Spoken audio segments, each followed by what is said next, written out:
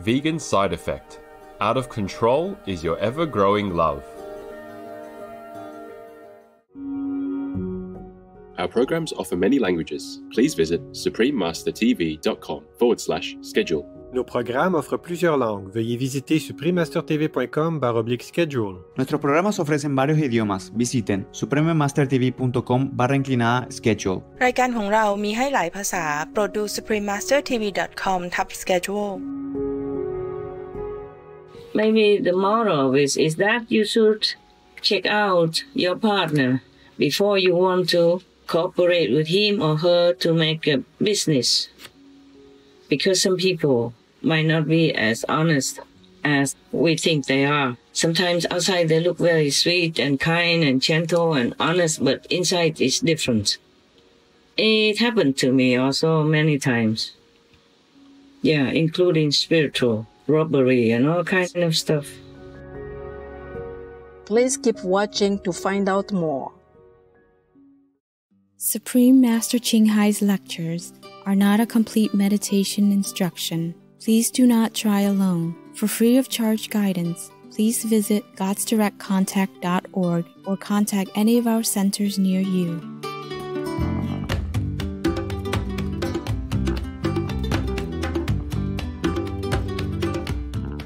Today's episode will be presented in English with subtitles in Arabic, Aulacese, also known as Vietnamese, Bulgarian, Chinese, Czech, English, French, German, Hindi, Hungarian, Indonesian, Japanese, Korean, Malay, Mongolian, Persian, Polish, Portuguese, Punjabi, Romanian, Russian, Spanish, Telugu, and Thai.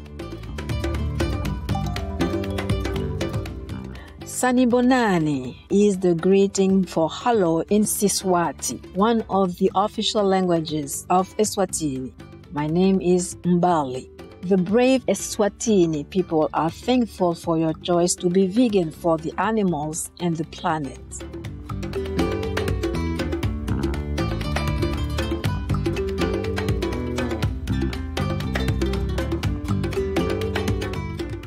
The Kingdom of Eswatini, a nation known previously as Swaziland, is one of the smallest countries in Africa.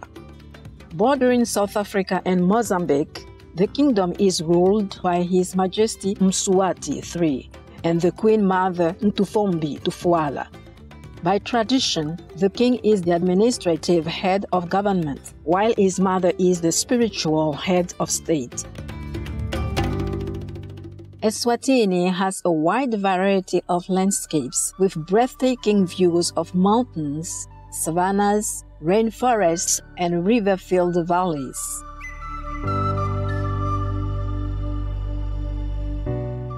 The proud Swazi people are loyal protectors of their splendid culture, the pristine environment, and precious wildlife.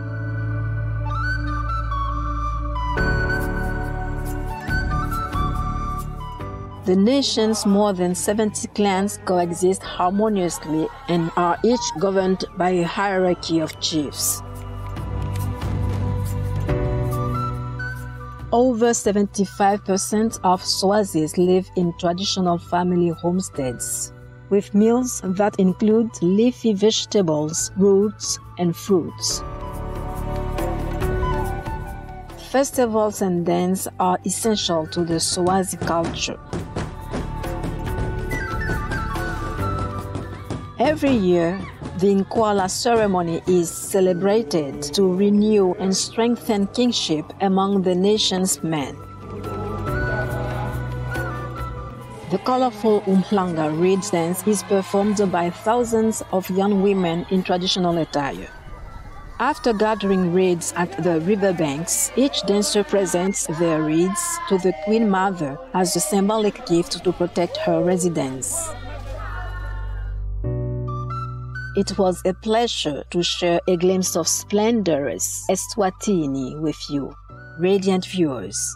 We wish for world peace to be here soon so that all may live in pure bliss.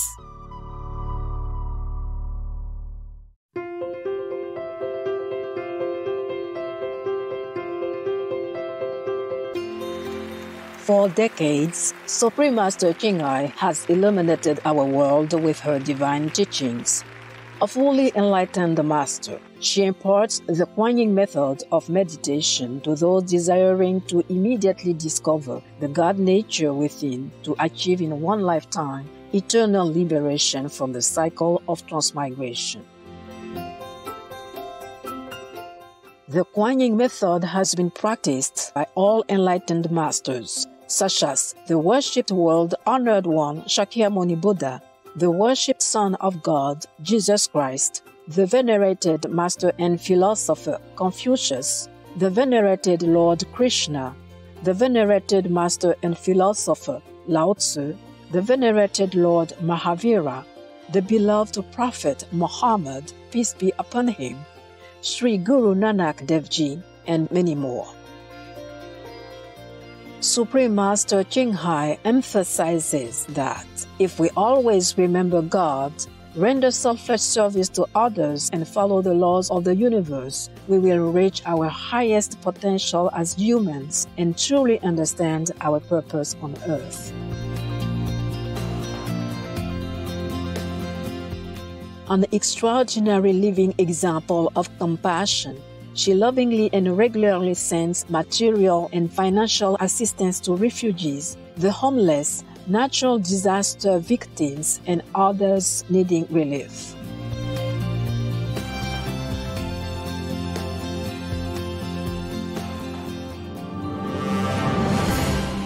Supreme Master Ching Hai respectfully thanks all special individuals, organizations, leaders, and governments for all your genuine, loving, ongoing support. May heaven bless you forevermore. We, the Supreme Master Ching Hai International Association members, are also sincerely grateful for your expressive kindness, wishing you the best.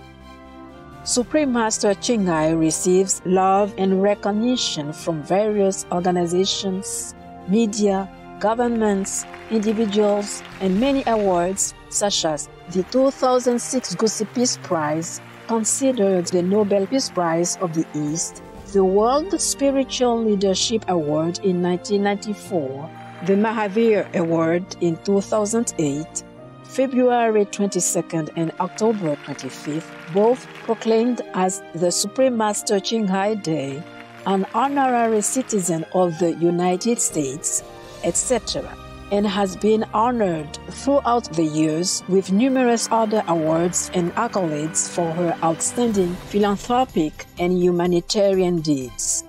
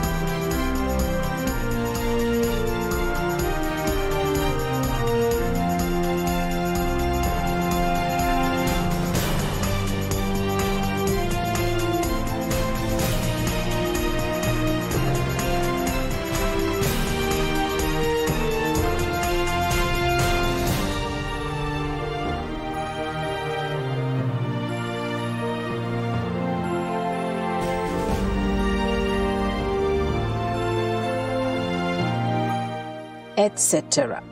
We apologize for not being able to show many other awards and honors for lack of space and time. Supreme Master Ching Hai respectfully thank all special individuals, organizations, leaders, and governments for all your genuine, loving, ongoing support. May heaven bless you forevermore. We, the Supreme Master Ching Hai International Association members are also sincerely grateful for your expressive kindness. Wishing you the best. A true voice for our beautiful animal friends. Supreme Master Ching Hai promotes the peaceful, loving plant based diet and envisions with humanity's awakening to the sacredness of all life, a tranquil and glorious all vegan world where animals and people live in respectful harmony. Her initiatives included alternative living flyer distribution, the international vegan restaurants Loving Hut, vegan food companies, vegan fur products, Supreme Master Television, as well as writing and speaking to influential government and media leaders, participating in televised conferences on climate change, etc.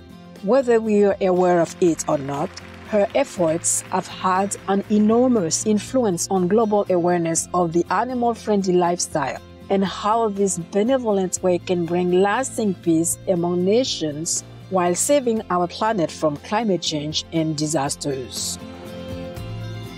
Supreme Master Ching Hai has traveled worldwide and held discourses with the public and her disciples on a variety of spiritual topics. Today, we are blessed to present one of these insightful lectures entitled Satan's Co-Investment, Part 2 of 3 on Between Master and Disciples, given in English on July 31st, 2021.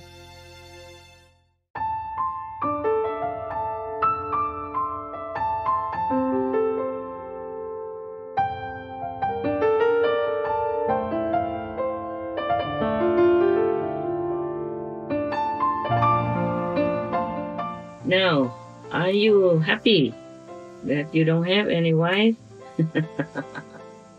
no woman control your life. I mean the in-house people. No husband, no wife, so you are free. At least you're free every day. You do your job and then you rest when it's time. You go meditate when it's time. You eat when you're hungry. Your life is better than mine, although I don't have any wife. the thing is, Hmm. If you are with someone, unless that someone is truly one with you, it's very difficult to enjoy your life. Yeah.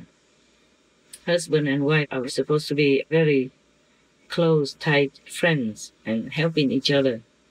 But it's not always the case and it brings a lot of sorrow and tears and sometimes affects the children, the family, the business, and even the country and the world.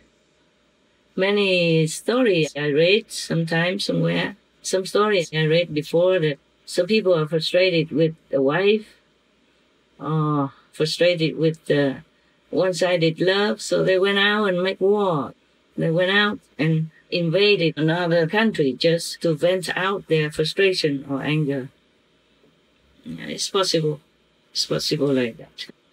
I even heard that the General de Gaulle the hero of France, was very afraid of his wife. But it's only a, a rumor. I have never met them.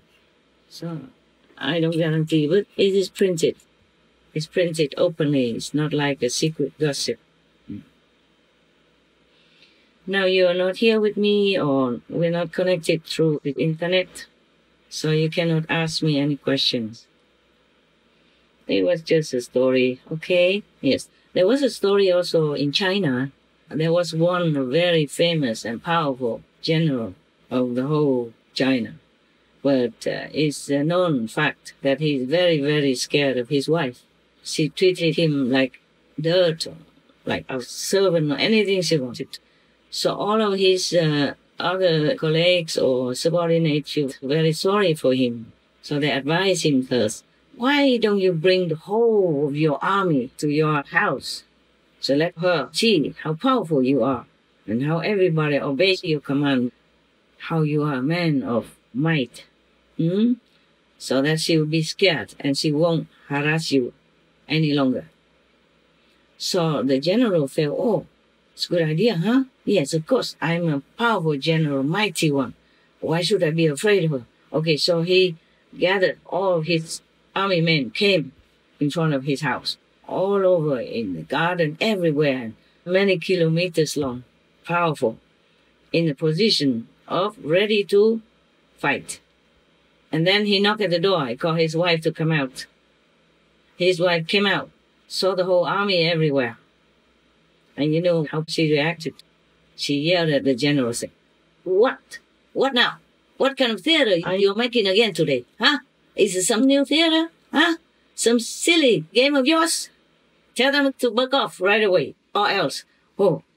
So the general said, Okay, okay, please calm down. I just want them to come here just to, uh, you know, like when some VIP came to a country, and that country will arrange for the army to show off in certain way, uh, biểu diễn, you know, 演兵 yeah, just to make an array of the army in different formations and different positions, different kinds of walking and all that. Very, very beautiful. Yeah. Or in unison. Yeah. This is for show. It's not like in the combat, but this is uh, like a, the unified kind of power together, all the soldiers marching in the same way. Very beautiful also. So he say he wanted to demonstrate for her to enjoy. That's it. And then he ordered all his army to quietly, you know, go home, go back to where they were. Originally, the plan was different, but he was too scared of his wife when she came out and roar like a lion. Scare him to death, you know, scare him so much. Then he was shaking in front of her and said, no, no, it's okay, it's okay. I tell him to go. it was just for you to look, to enjoy. so in, in China, this story is called The Lion's Roar of He Dong, Sư tử Hà Đông. The Lion's Roar of He Dong. yeah, it's a very famous story. I wonder if it's a true story or not. But anyway, it's similar to this story. So, by the way, I tell you. Mm. This story is not only about Satan, huh? Maybe the moral of is that you should check out your partner before you want to cooperate with him or her to make a business. Because some people might not be as honest as we think they are. Sometimes outside they look very sweet and kind and gentle and honest, but inside it's different. It happened to me also many times. Yeah, including spiritual robbery and all kinds of stuff. Because some people think that uh, whatever initiation I gave you, it looks like outside only. It's not the inside. And all they have to do is just learn the outside things, and then they can do the same. It's not like that. It's not like that. You have to have the power inside to help the people you want to initiate. Otherwise, both of you will be in trouble because uh, Maya will control you and control your so-called initiated people and make you do bad things. Make your mind not pure, make your heart not clean, and then you will fall. And every day he will control you you know, the force of the negative will control you. And even if you do good things, it's only for his credit. Because you don't do it with love. You do it just like blackmailing people so that people come and follow you with that motive. People will thank you, people will respect you, worship you, and all that stuff. All these kinds of things. The mind will trick you to do it, to think about such things like that and to have such a mentality. This is all the Maya doing. Even if you do charity, the merit is only within the three walls and you will be bound by it. you will never get away from the circle of life and death and karma. Not to talk about the people that you are so called leading. You lead them to fall, you lead them into the pit. You should never do business with Maya. That's why in the old time, not many masters would uh, give people initiation at random. They would test, they would check every aspect of that person before they give initiation. Very rare they just do it. Because sometimes you will bring trouble for yourself. The evidence is with the Buddha, Devadatta, his cousin, because he trusted his cousin. He thought, cousin, you know, so give him initiation or something. Later he came out, Devadatta, with oh, jealousy with the Buddha, trying to kill the Buddha, all kinds of things that he did, and defaming the Buddha and claiming every credit for himself. He has also his so-called disciples and monks and all that, so teaching nonsense. Or copying or stealing the teaching of the Buddha and making it his own. Like he's the one who knows all that or this, but in fact he knows nothing. Because he's not the Buddha. He's just working for Maya, for the devil, so that he can get fame and gain and all that. You know, people, they do that. That's why when Milarepa wanted to leave, uh, his master told him, go to the mountain somewhere, be alone, meditate. Don't bother teaching the worldly people because they all want just material things. It was correct so, but nevertheless, Milarepa also taught somebody, I guess. So one of his disciples even poisoned him to death. Many instances, if I wasn't lucky, I would not have escaped death also. I guess heaven still wants me around to do some more work, but not without suffering, not without trouble every day. If I wanted to, tell you all the suffering I have endured and all the trouble that was heaped upon me ever since I took over this job. It would fill many books. It would be more than suspense movies. Yeah, you would be too scared to even want to proclaim yourself a master, even if you want to. I don't know, maybe I should, but I just one after another, then I try to forget and I don't really remember too much detail. And it happened too much and too many decades already. I can't even remember them all. And I don't want to remember. I don't have even the mood to write down or to tell you all this stuff. I never wanted to. But maybe it's good for people to understand what it means to really be a true master, not just a copycat.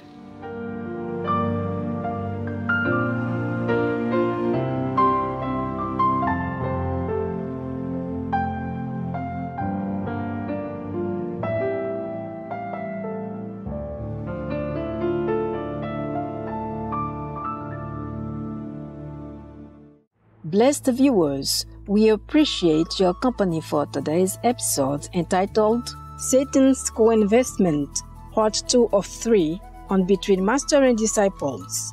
Coming up next is Selections from a treatise on parents and children by George Bernard Shaw, vegetarian, art teaching, part 1 of 2 on words of wisdom, right after noteworthy news.